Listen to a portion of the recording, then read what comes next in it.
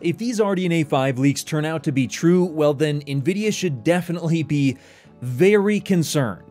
Let's talk about it. Before that, this video is brought to you by PCTechForum.net. PC Tech Forum is a brand new website dedicated to discussing everything related to hardware news, from the latest processors to graphics cards or even upcoming consoles. This is a great place to expand the discussions we have here in my tech news videos. If you love watching me break down the latest specs on new hardware, this will be a great place for you to find like-minded individuals. So if you're interested in joining an online community of hardware enthusiasts to talk tech or maybe even make your first friend that isn't an AI waifu, be sure to check out PCTechForum.net in the description below or pinned comment. Okay, so RDNA 4 is just around the corner and we're already talking about RDNA 5 because as we've been told from previous leaks and rumors, well, apparently this new generation of GPUs is going to be brought forward by around a year, I believe. It's really being fast-tracked to go ahead and try and leapfrog over the RTX 50 series and potentially crush NVIDIA's upcoming RTX Titan AI, or at least that's what the leaks and rumors would have you believe. Now, according to everything that I'm seeing, yes, RDNA 5 is looking to be an incredibly powerful generation, but the question is just how powerful will it really be? Can they crush NVIDIA or will they fall short? Well, thankfully, we just got a ton of new information from the YouTuber Red Gaming Tech when it comes to RDNA 5, and a lot of the information that he just divulged is absolutely mind-blowing. It would lead to, well, the RTX 50 series having absolutely no chance against these graphics cards. So let's go ahead and take a look and see whether or not I believe this could really happen based on everything that I know, as well as the upcoming processes from TSMC that these things will be based off of. So according to Red Gaming Tech, he was claiming that RDNA 5 is going to come with a ton of improvements, including full hardware support for ray tracing and AI acceleration, which to me sounds like basically any leftover software implementations that are currently being used in RDNA 3 3, by the time we get to RDNA 4, are likely going to be gone and certainly going to be gone in RDNA 5, and they will have a more NVIDIA-like approach to handling those types of new workloads, which will lead to substantial performance increases, likely putting AMD in a similar type of performance bracket per core, if you can even compare them that way when it comes to, again, ray tracing and AI. So that's really good to hear, but the more juicy stuff that you guys probably want to talk about in depth is going to do with, yes, the specs of this upcoming upcoming GPU, the flagship one anyway, as well as the potential performance. So according to Red Gaming Tech, he did allude to the fact that RDNA 5 will substantially outperform the RTX 50 series from NVIDIA. Now, this would likely also include the RTX Titan AI, the biggest and baddest GPU they can possibly produce. And the reason as to why he's saying this is because RDNA 5 is not only going to be a chiplet-based GPU and the first one ever, not just with the memory controllers, but also potentially the GPUs as well, allowing them to produce a much larger overall GPU, but also, well, apparently he's hearing between 380 to 360 compute units. Now, that is a massive, massive increase. Likely, he's thinking that it is going to be the 380, which does mean that the full GPU die would likely have 192 WGPs. Maybe they'll shave one or two off. We simply don't know if these leaks and rumors turn out to be true. Now, are they true? Let's go ahead and break it down. So if we go ahead and throw together a chart here of what these upcoming GPUs would potentially look like based on these new leaked specs and information that we got, well, it looks like the RX 9900 XT, like I mentioned, would have roughly 192 WGPs, which would be four times the amount in the 7900 XTX. Now, that is insane, and quite frankly, we'll get to how realistic I think that could be in just a moment here. But assuming this is true, it would be way too much power drop if they try to cross 3 gigahertz. So you'd probably be looking at around 2.8 gigahertz for the boost clock, and you would be looking at 32 gigabytes of memory, potentially running up to 36 gigabits per second GDDR7 at the most, although that is not confirmed and not leaked at this point in time. And it would likely also be using a 512-bit memory bus, although that again is not confirmed, but it would be likely considering the size of this GPU. Now, with all that in mind, you would be looking at over two terabytes per second of memory bandwidth,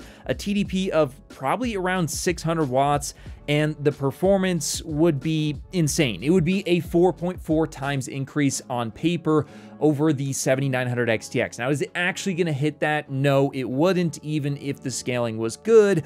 But to be honest with you guys, I don't think that this information is accurate. I don't think there's any way, shape, or form that we're going to see a GPU this large from AMD. Now, is it technically possible? Maybe, but even doing some simple math when you look at the gains to be had when they shrink down their TSMC node, it seems very unrealistic for them to hit this level of a target without having a GPU that's just so so massive and costly that it wouldn't make sense for AMD to produce. So quite frankly, guys, I don't think you're going to see this GPU at all. In fact, an ideal situation would probably be a GPU similar to this, very, very similar specs, except for maybe a slightly higher boost clock, and then moving down from 192 to 144 WGPs.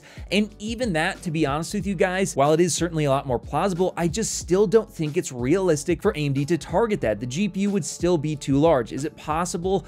Yes, again, it is probably possible because they could potentially get a 50% die area increase if they shrink their node a number of times before this GPU is released.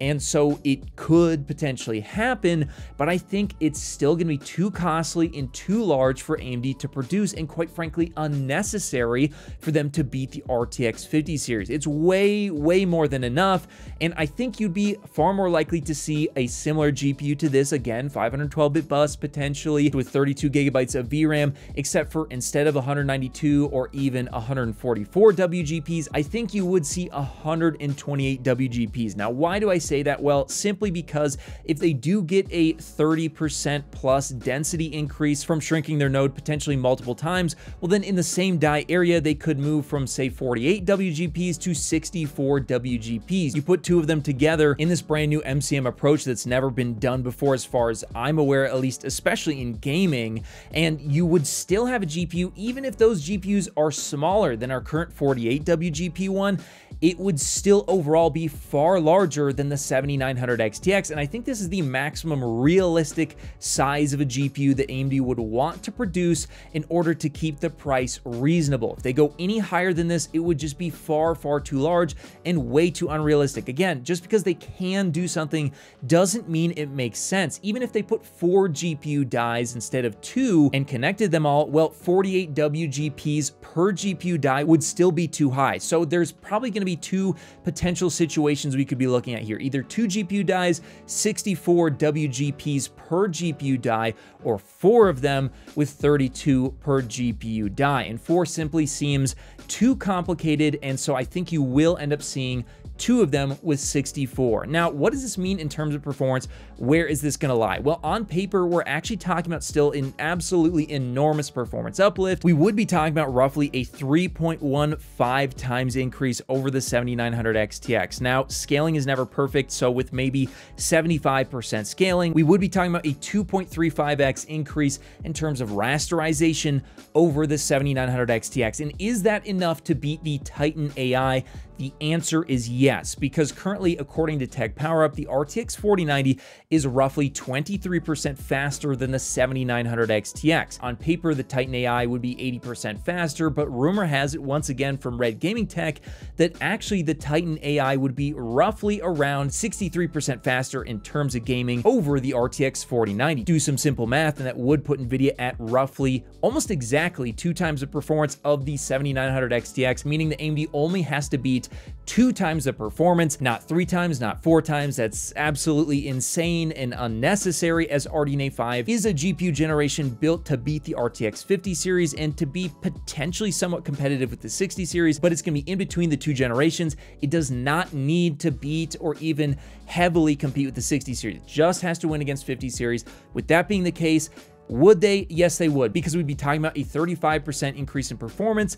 on AMD's flagship GPU over NVIDIA, and they could even come in at a lower price. I think the Titan AI will target a minimum of $2,000, likely $2,500. If AMD comes in at even $1,800, it would massively undercut it, but I think they could target even $1,600 with this GPU. Still a very high price, a big increase since their last generation, but considering you could be talking about actually in excess of two times the performance and far better value than what NVIDIA would be giving you. Even for a flagship GPU, even for that high of a price, it's just going to be a much better pick for a vast majority of gamers if you can wait and if they hit their targets. And that's the question. Will they hit their targets? We'll only know as time goes by. But I did want to bring you guys this video because I want to caution four times increase in performance. It's not going to happen. There's no way I would be absolutely flabbergasted if we saw that, and I don't think there's any reason for AMD to do that. So I wanted to make sure that we keep our expectations in check. Over two times performance is insane. No other type of industry is gonna give you that as far as I'm aware, especially in the realm of technology. That's a crazy good increase and something that's gonna be highly, highly competitive and quite frankly, probably gonna stomp on the RTX Titan AI, but you will have to wait potentially who knows, six to 18 months after the RTX 50 series initially debuts, depending on if AMD can hit their targets to get this much better potentially GPU. If you made it to the end of the video, be sure to drop a like. Every time you do so, AMD and NVIDIA release new GPUs. Also, if you want to see more, check out one of these related videos. You won't be disappointed.